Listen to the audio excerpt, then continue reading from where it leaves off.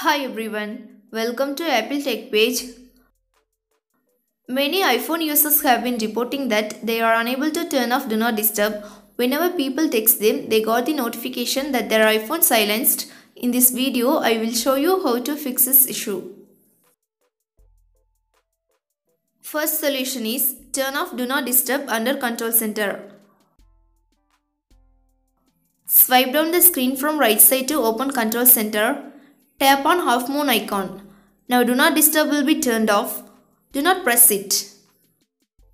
If you tap on Do Not Disturb, you will get this screen. Here also you can turn off Do Not Disturb.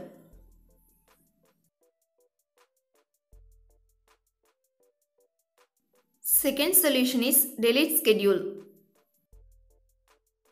To do this, launch settings app. Next, tap on focus. Tap on do not disturb. Tap on your schedule time. Tap on delete schedule. Again tap on delete schedule to confirm. I have another one, I am going to delete it. If you too have, delete them or turn off schedule. Third solution is turn off and on your device. To do this, launch settings app. Tap on general.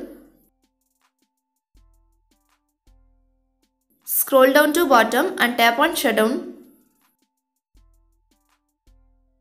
Drag the slide to power off slider to turn off your device.